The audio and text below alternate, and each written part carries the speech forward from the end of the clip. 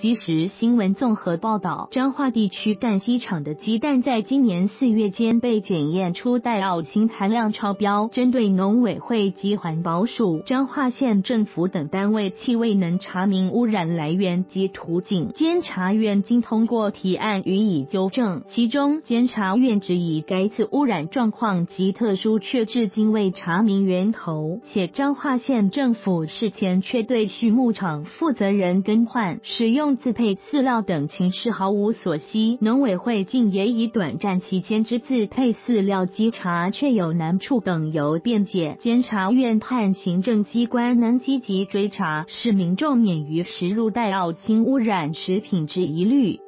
监察院经发布新闻稿指出，针对今年四月间的鸡蛋带奥氢含量超标事件，农委会及环保署气未能就污染来源、遭污染饲料或添加物种类、污染传播途径等予以查明，且彰化县政府对辖内畜牧场未能积极管理，农委会则忽视饲料管理法第一条所揭示之保持饲料品质以维护国民健康之目的，因此监察院才。与经济委员会经提出纠正。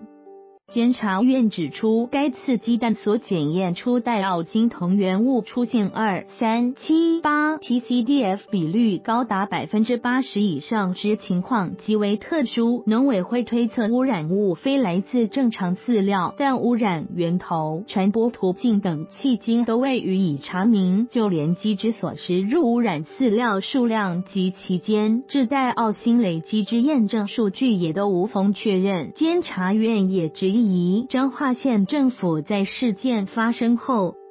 才进行访查及采取作为，事前却对畜牧场负责人更换使用自配饲料等情事毫无所悉。农委会竟以禽流感疫情频传之养禽业者管制出入，故短暂期间之自配饲料稽查却有难处等由辩解，导致该畜牧场所使用之自配饲料难以追查。亦未能再行追踪带奥氢污染物之可能来源。